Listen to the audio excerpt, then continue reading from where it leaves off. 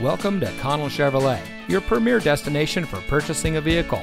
And here's a look at another one of our great vehicles from our extensive inventory.